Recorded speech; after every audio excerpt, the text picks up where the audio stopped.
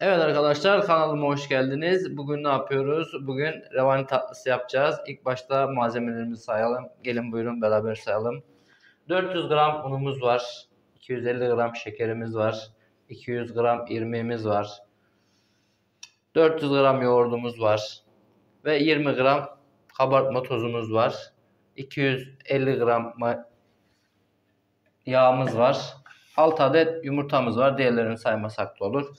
Bunları homojen bir şekilde karıştıracağız. Ama nasıl karıştıracağız? O sırasıyla sıvılardan başlıyoruz. Buyurun başlayalım. Evet arkadaşlar başlayalım karıştırmaya.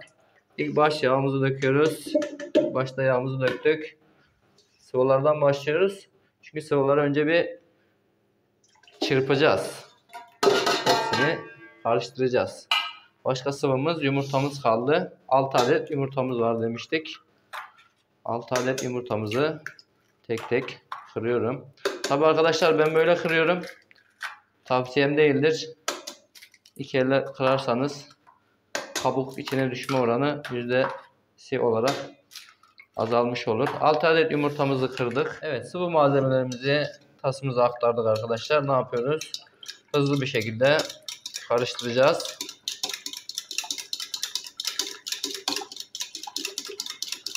Kavuş, karıştırma süremiz yaklaşık bir 10 dakika sürecek. Neden? İyice burayı köpürtmemiz lazım. Kabarması lazım çünkü. Set üstü mikser olan arkadaşlar bunu mikserde yapabilirler. Ben biraz daha zor olanı seçtim. Zor olanı seviyorum çünkü. Evet arkadaşlar karıştırma işlemimizin sonuna geldik. Daha sonrasında yavaş yavaş katı malzemelerimizi katıyoruz içine.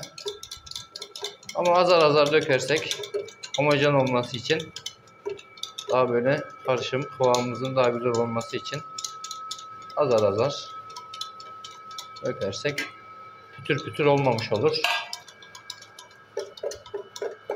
Şekerimizi direkt atabiliriz.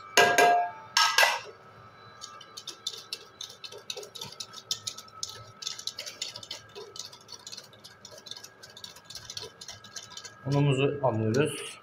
Unumuzu da yavaş yavaş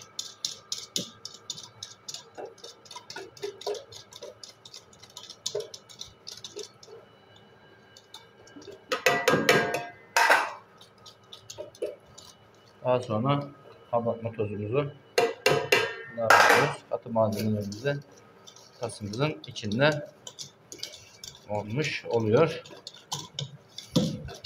Bu işlemi kaç dakika uyguluyoruz usta? Yaklaşık bir 10 dakika uyguluyoruz.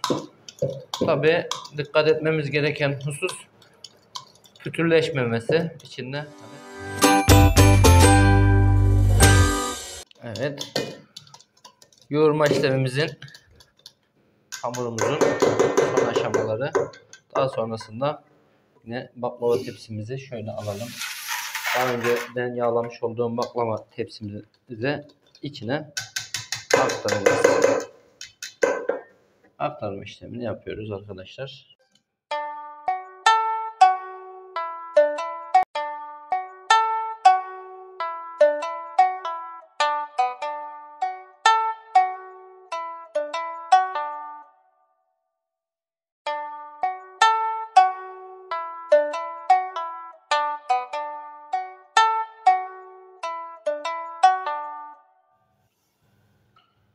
Evet arkadaşlar hamurumuzu tepsimize yayıyoruz.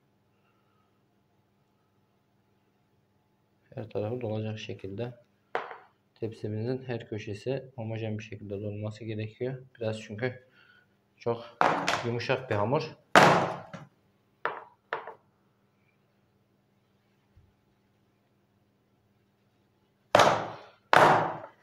Ben bu yöntemi kullanıyorum. Başka arkadaşlar da bunu kullanabilirler. Evet arkadaşlar yoğurma işlemimiz tamam. Tavamıza hamurumuzu serdik. Ne yapıyoruz? Şu anki işlemimiz nedir arkadaşlar? Şu anki işlemimiz fırınlama işlemi.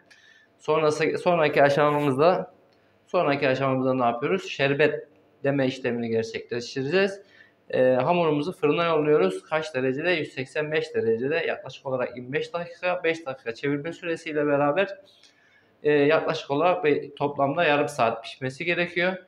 Ee, pişerken e, ben şerbetini koyacağım. Şerbetin tarifinde biraz sonra beraber olacağız. Evet arkadaşlar, revani tatlımızın hamurunu fırınımıza yolladık. Şu an duyduğunuz üzerine pişmek üzere pişiyor.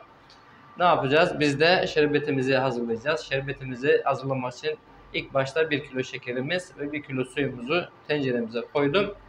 Ne yapacağız? Fırında e, e, ocak ateşinde yaklaşık olarak bir yarım saat kaynama işlemi yapacağız. Kaynama işleminden sonra yarım bir limon yardımıyla içine atacağız. Ya da limon olmayan arkadaşlar ya da limon kullanmak istemeyen arkadaşlar limon tuzu kullanabilirler. Ben de öyle yapacağım. Buyurun ocağımıza geçelim. Evet arkadaşlar revani hamurumuzun pişirme işlemi tamamdır. Revani şöyle göstereyim arkadaşlar. Bir kek, büyük bir kek gibi düşünün. Ne yapıyoruz? Birebir şerbetimizi yavaş yavaş döküyoruz.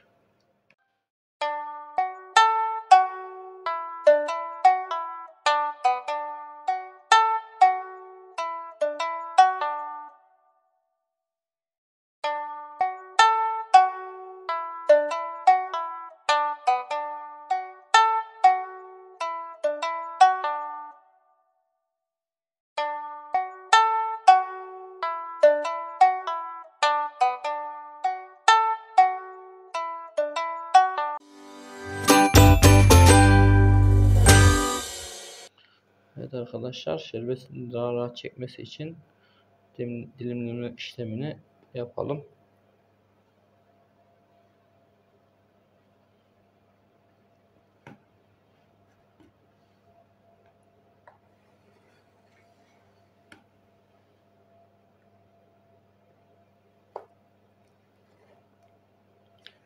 Eşit dilimlemeye dikkat edersek güzel bir görünüm sağlarız arkadaşlar.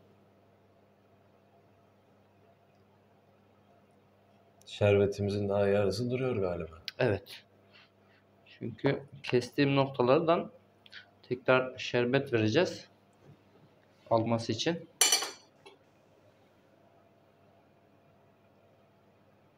Birebir olan şerbetimizin hepsini revani tatlımıza yedireceğiz arkadaşlar. Tekrar bir yatay bir kesim bölme işlemi daha yapacağım. Kalan şerbetimi de öyle bir aktaracağım. Tamam. Evet arkadaşlar kesme dilimleme işlemimiz tamamdır. Bir yakınlaştıralım istersen. Sonraki işlemimizde ne yapıyoruz? Ben Hindistan ceviziyle süsleyeceğim arkadaşlar. İsteyen arkadaşlar yeşil fıstıkla antep fıstığını süsleyebilirler. İsteyen arkadaşlar diğer tatlıya giden malzemelerle süsleyebilirler.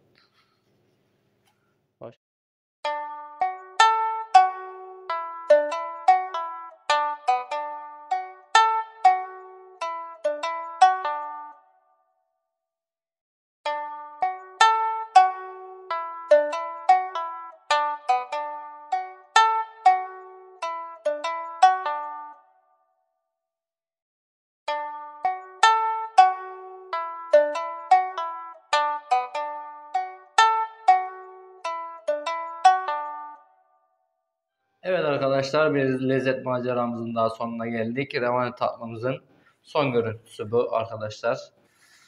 Ne yapıyoruz? Bir 20 dakika sonra soğuduğu zaman servis hazır hale gelmiş oluyor. Benden bu kadar arkadaşlar. Ee, kanalıma abone olmayı, beğeni ve yorum yapmayı unutmuyoruz. Bir dahaki lezzet maceramızda beraber olmak dileğiyle görüşmek üzere.